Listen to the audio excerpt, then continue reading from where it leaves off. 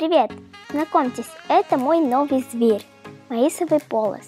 Это самка, совсем еще маленькая, самого стандартного окраса, очень простая в содержании, не требующая зимовки и абсолютно равнодушна к рукам.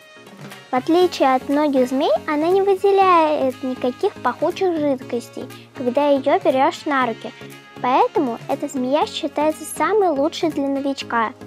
Пока маис маленький, он может побаиваться и резко двигаться в тот момент, когда вы хотите его взять. Но по мере взросления змея привыкнет к тому, что ей ничего не угрожает и будет вести себя абсолютно спокойно. Сейчас длину наша змейка приблизительно 40 сантиметров. Во взрослом возрасте в неволе эти змеи достигают до полутора метров. И я очень надеюсь, что у меня все получится и моя змейка – вырастет большую длинную красавицу.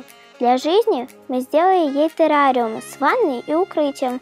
В качестве подстилки используем листы бумаги А4. Этот террариум в дальнейшем ей будет маловат, поэтому мы купим другой. А пока что она будет расти и поживет в этом. Большую часть времени она проводит на руках или ползает на видном месте. Однажды она сумела выбраться из террариума мы с большим трудом нашли ее. С тех пор внимательно следим, чтобы такого не повторялось. Я новичок, и несмотря на то, что изучила тему содержания, все равно допускаю ошибки. К сожалению, без ошибок ничему не научишься.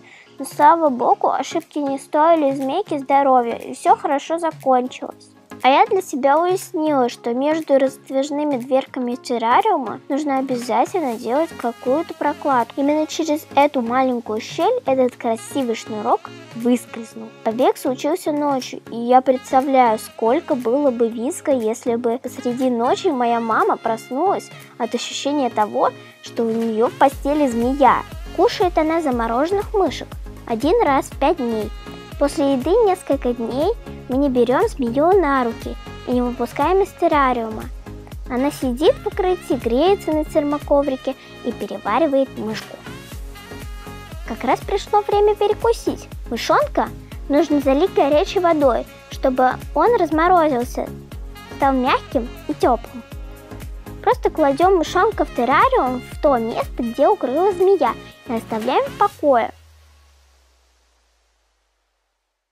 Буквально через пару минут змея уже обнюхивает обед, а еще через несколько минут с обедом уже покончено, и змейка отправляется на отдых. Маисовый полос – великолепный зверь. Я очень рада тому, что завела себе такую радость. Буду изучать тему декора террариума.